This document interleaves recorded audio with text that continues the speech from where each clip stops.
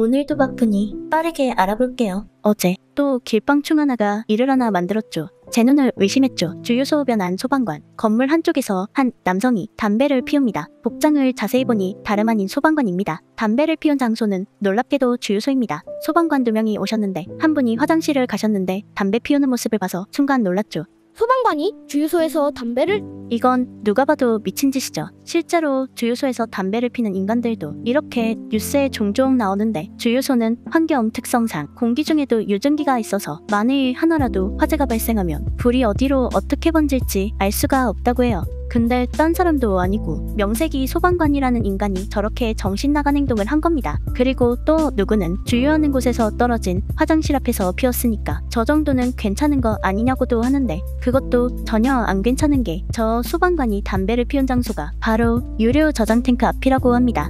사람을 구하는 소방관이 사람 목숨을 원 날릴 뻔한 거네.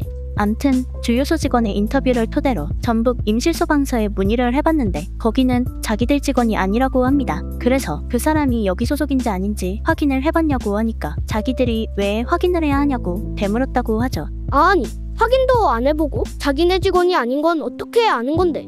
뭐 궁예 마냥 관심법이라도 쓰는 건가 했는데 여기엔 약간 반전이 있습니다. 저 뉴스가 나가고 나자 전북 소방서에서 추가 설명을 했는데 저 사건은 2019년 5월에 민원이 들어왔었고 당시 감찰 조사를 하기 위해 민원인한테 세 차례에 걸쳐 영상 제공을 요청했지만 영상을 건네주지 않았고 영상이 없는 상태에서는 정확히 어떤 직원인지 특정할 수가 없어 조사를 마무리할 수가 없었다고 합니다. 그러는 사이 징계 시효도 소멸했죠. 그니까 무려 5년 전 영상인데다가 찾겠다고 했는데도 영상 제공을 안 해줘서 어디 직원인지 확인할 수도 없는 상황이었는데 그걸 이제서야 언론에다가 또 제보한 겁니다. 그래서 현재는 저 길방을 한 사람이 어느 소속 소방관인지 아니면 진짜 소방관 코스프레를 하고 다니는 놈인지 확인할 수가 없는 거죠.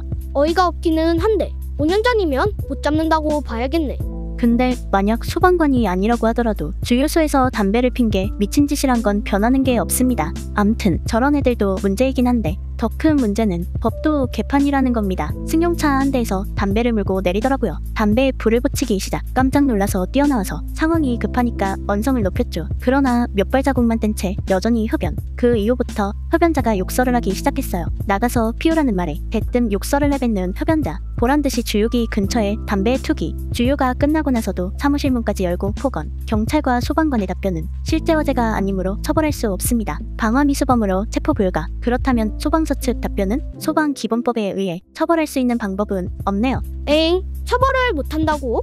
일단 엄밀히 말하면 처벌이 아니라 과태료 대상입니다. 2019년까지만 하더라도 주유소 내에서 흡연하면 과태료 10만 원이 부과됐었는데 그게 이제서야 위험물안전 관리법이 신설되면서 최대 200만 원까지 늘어났죠. 근데 그것조차 모든 주유소가 금연구역으로 지정되어 있는 게 아니다 보니 금연구역으로 지정되어 있는 주유소가 아니면 주유소에서 담배를 펴도 처벌할 수가 없는 거죠. 저 뉴스에 나왔던 주유소 사진도 다시 보면 화기연금이라고만 써있지 금연구역이라는 걸 알려주는 표기를 찾아볼 수가 없어요. 만약 금연구역으로 지정되어 있는 주유소였으면 금연구역 표기가 보여야겠죠. 그니까 정리하면 주유소 내의 흡연은 단순한 과태료 대상일 뿐이고 그마저도 해당 주유소가 금연구역으로 지정되어 있지 않으면 법적으로 아무 제재할 수단이 없다라는 얘기입니다. 어이가 없네. 금연구역이라고 안 써져 있어도 할 때 안할 때는 구분할 줄 알아야지.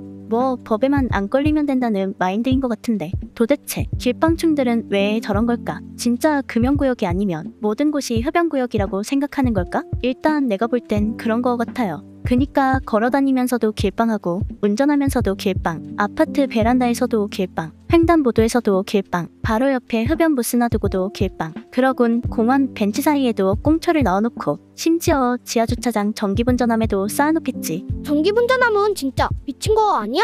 이쯤에서 걸그룹들이 길빵충에 대해 얘기하는 걸 들어보고 갈까?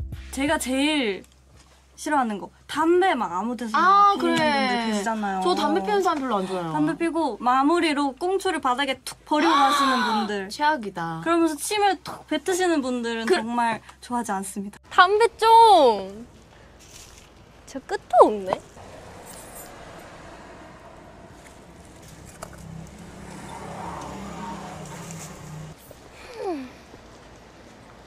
담배 끄고 바닥에 버리지 말아주세요. 감사합니다. 또 담배 또 또 또. 어제 누군가가 어제 밤에 술을 먹고 저렇게 버리고 간 게 확실합니다. 그렇다면 금연구역에서는 안 필까? 이렇게 금연구역이라고 지정되어 있어도 하수구를 보면 꽁초 천지예요. 혹시나 안 보일까봐 크게 붙여놓으면 그 사이사이에도 보란듯이 꽁초를 끼워넣고 갑니다. 그니까 길방충들은 금연구역이든 아니든 누가 피해를 보던 말던 그냥 지들이 피고 싶으면 아무 데서나 피는 겁니다. 가래침은 기본 옵션이죠. 그리고 이런 얘기들을 들으면 심기가 불편하기는 한지 되려 길방충한테 맞고 다녔냐. 니들이 난리치니까 담배가 더 개꿀맛이다. 이러면서 조롱하는데 그것도 겁나 웃긴 게 지들 손으로 지들 돈 써서 지들이 안 걸리는 걸 가지고 남들을 조롱하고 있어요 그렇게 남들을 조롱하는 만큼 지그들 폐의 색깔은 점점 더 똥색이 돼가고 있는 건데 진짜 저런 애들은 능지부터 의심해봐야 하는 거 아닐까 근데 이건 어디까지나 길방충들에 대한 이야기고 남한테 피해주지 않는 흡연자들한테는